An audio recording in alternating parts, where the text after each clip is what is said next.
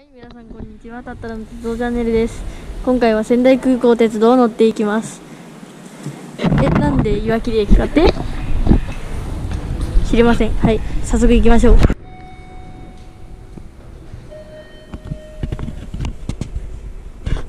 今回はここ行きたいと思います。はい、この岩切駅はですね、東北本線で唯一の支線が伸びているところなんですね。えー東北本線岐阜支線というところでやっております。今回ですねちょっと電車の都合が合わなくて岐阜支線は乗れないんですが、まあ、また今度動画にしようと思います。今回はですね仙台空港アクセス線ということでとても高いんですよ。それはなぜかというとやはり仙台空港へのアクセスがあるからなんですよね。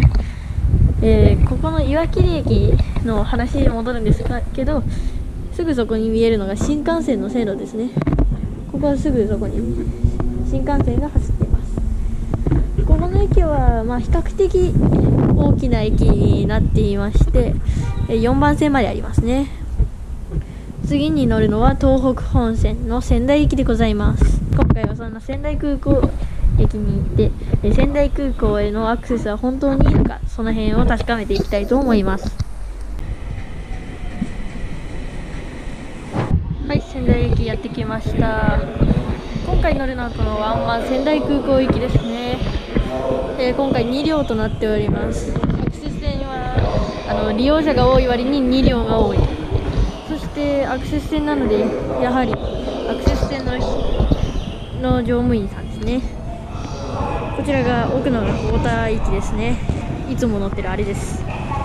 こんな感じです。じゃあ次の駅までカットさあ皆さんここが仙台空港鉄道の始発名取駅でございます。さっきまで仙台空港鉄道乗ってきたじゃんって思うかもしれませんがあそこまでは東北本線です。あれそこは、えー、仙台空港鉄道が勝手にお邪魔させてるもらってるだけのやつなんですよね。なので実質的にはここが始発となります。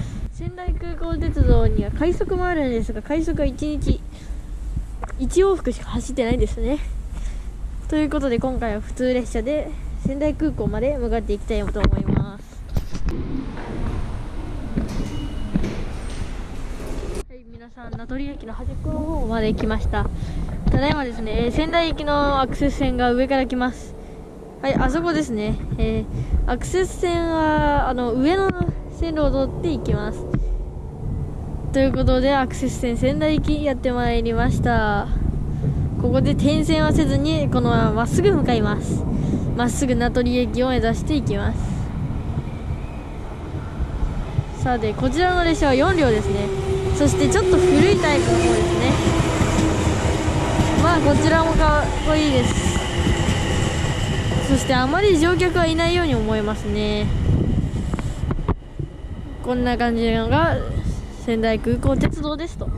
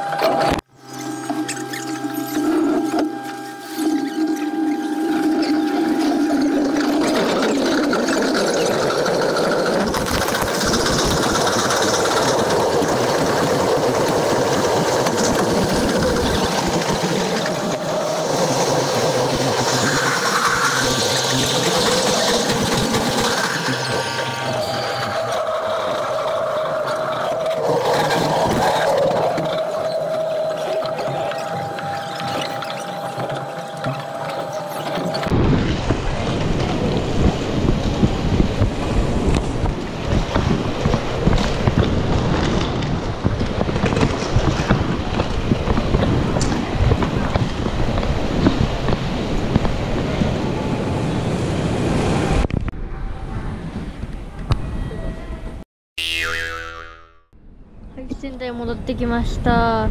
ということでね今回のたっったらの鉄道チャンネルここまでになります。チャンネル登録高評価よろしくね。次回の動画もご覧ください。